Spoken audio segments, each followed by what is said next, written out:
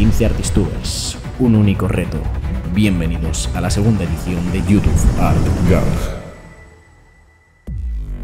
Sí, señor, sí, señor, por fin está aquí, por fin llegó, qué emoción, qué entusiasmo, tengo los pezones haciendo volteretas. Porque ya está aquí, ya llegó la segunda edición de YouTube Art Gang, YouTube Art Gang Classics, que es esta edición, es como se llama, se llama así, Classics. Como ya os mostré por Instagram hace unos días, unas semanas, me llegó esta maravilla de libro, que es una pieza fundamental, una pieza clave para esta segunda edición de YouTube Art Gang, y este libro se llama La historia visual definitiva y es de la editorial Deca Books. Y es un libro que contiene las obras y artistas más importantes de la historia, ordenados cronológicamente desde los inicios del ser humano y la vida hasta la actualidad.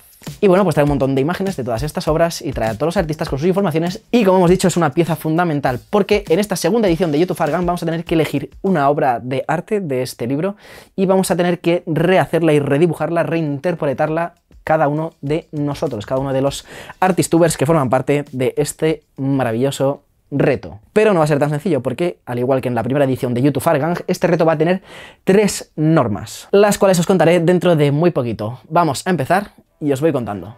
Antes que nada, la obra que he elegido reinterpretar es Judith, del artista Clint, que es uno de mis artistas favoritos y que es un autor que probablemente conozcáis por su archimega famosísimo cuadro El beso. Y dicho esto, vamos allá. ¿Cuáles son las tres normas de esta edición de la YouTube Art Gang? La primera ya os la he dicho que es reinterpretar una obra de las que aparecen en este libro. La segunda norma es que cada artistuber va a ceder un elemento de los que aparecen en su obra y solo va a tener que pasar al siguiente artistuber, con lo cual, en mi caso, a mí me han pasado un objeto y yo tengo que pasarle otro objeto al siguiente. El objeto que me han pasado me lo ha pasado Fortunillo y es un reloj con una cadena de oro, que veréis que yo voy a hacer un reloj entero de oro, con la cadena de oro y con todo de oro.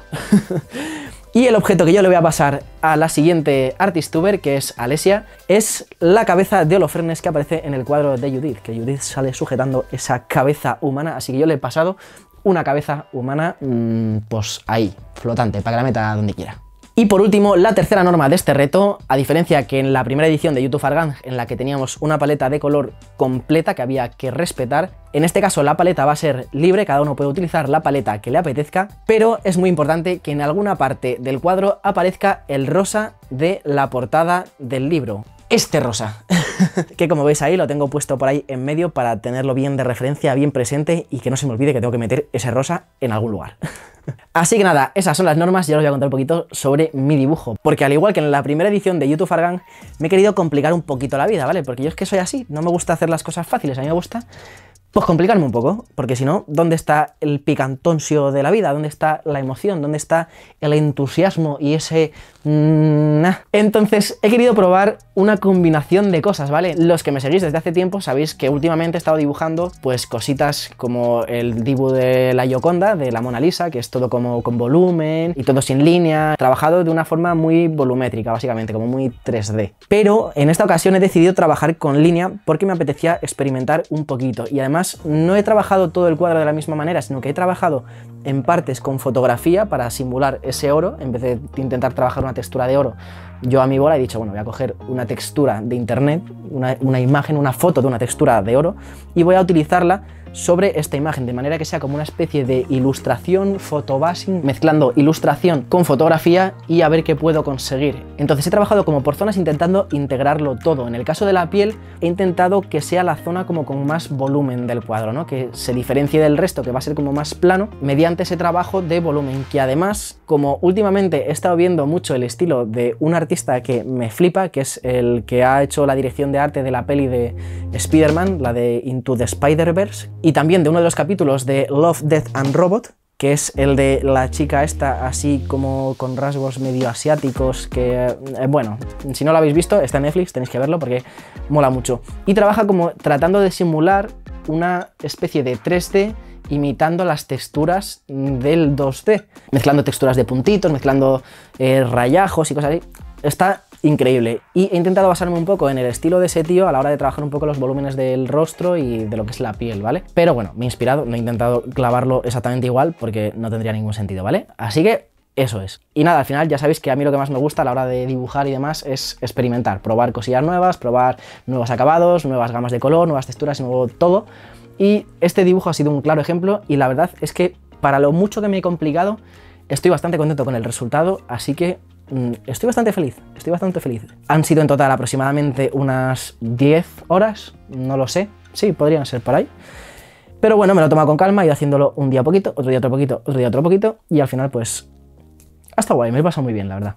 Y antes de que se me olvide, en esta edición de YouTube Art Gang, al igual que en la anterior, también tenemos regalitos para vosotros. En la edición anterior hubo un concurso y en esta edición va a haber un sorteo, ¿vale? En el que podréis ganar un par de cositas. El primer sorteo va a ser un libro como este, que además vamos a sortear cada uno de los artistubers uno de estos libros, cada uno en su canal, con lo cual estar atentos a todos los vídeos de la YouTube Art Gang porque tendréis más posibilidades de ganar esta maravilla de libro. Y cada uno va a sortearlo como quiera. En mi caso voy a sortearlo aquí mismo en los comentarios tenéis que dejar un comentario diciendo mm, lo que sea sobre el vídeo, si os ha gustado, si no os ha gustado, y decir quiero el libro, mm, quiero ese libro, dámelo, por favor, lo quiero para mí en mi vida. En este caso, el sorteo del libro va a ser a nivel nacional, por motivos mm, que todos conocemos, eh, a nivel económico, que la vida no da para más, YouTube y el partner eh, no dan para mucho. Este va a ser sorteo nacional, pero vamos a hacer un sorteo internacional. Es que pesa mucho este libro, es que no sabéis lo que pesa. Esto cuesta enviarlo por lo menos 500 pavos. Pero a nivel internacional vamos a hacer un sorteo y es que vamos a sortear un pequeño fanzine con cositas de esta YouTube Art Gang, con acabados finales, con bocetos o lo que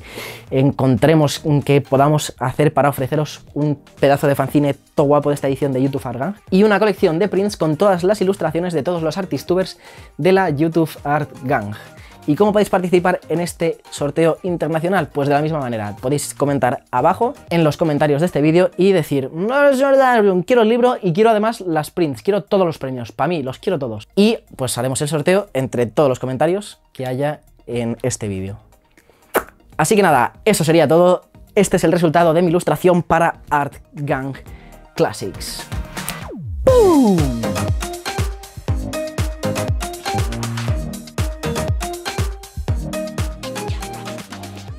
Pues nada, chicos, se acabó lo que se daba hasta aquí. Toda la vaina, está todo el pescado vendido. No, no está todo el pescado vendido, porque todavía tenéis que ir a ver todos los vídeos de los otros artistubers, que son otros 14 pedazos de artistubers. De verdad, o sea, increíbles. Yo, mientras estéis viéndolos vosotros, yo estaré viéndolos también en mi casita, porque no tienen desperdicio. O sea, me encanta ver todos los dibujos de toda esta gente. Es una maravilla. Y que no se os olvide que le hemos pasado nuestro objeto a la siguiente Artistuber. Y os voy a dejar en la descripción el canal de Alesia para que podáis ir a echarle un ojo al dibujo que ha hecho y a ver dónde ha puesto la cabecilla. Yo quiero verlo.